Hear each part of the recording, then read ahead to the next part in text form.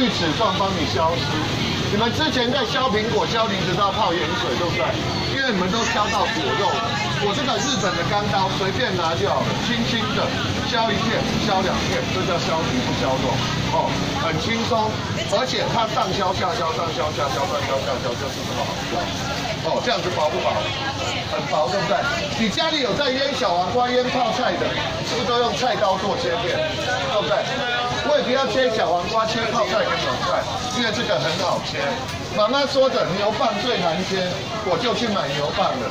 削皮这一面直接帮你做切片，我连看都不用看，每一片都这么薄。哦，这叫切片。哦，这叫牛蒡片，这样子薄不好？反过来锯齿状帮你消失。现在在炒饭炒面的时候要什么？要红萝卜丝，对不对？都要切片再切丝。现在啊不用了，要短削短。吃生鱼片的时候要白萝卜丝，要长削长，丝丝分明清楚。哦，看一下，跟你外面吃生鱼片的白萝卜丝不不一样？不是一样。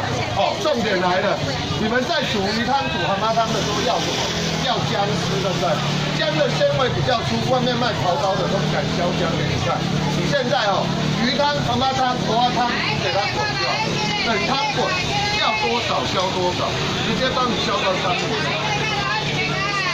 这叫姜丝。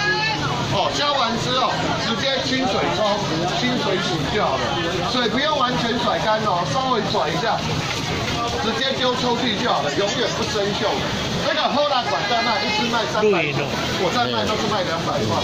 哦，现在大哥，大家都站着看，有要的举手，你们你们不用举手，我优惠给你们。哦，我在卖都是卖一只卖两百，现在哦就几只，我算人手，一个、两个、三个、四个、五个、六个，就六只哦，一个人最多带两只。哦，一个现在一只一百块，哦，六只而已。那记住哦。人同齐炸两支，卖甲我炸伤两支。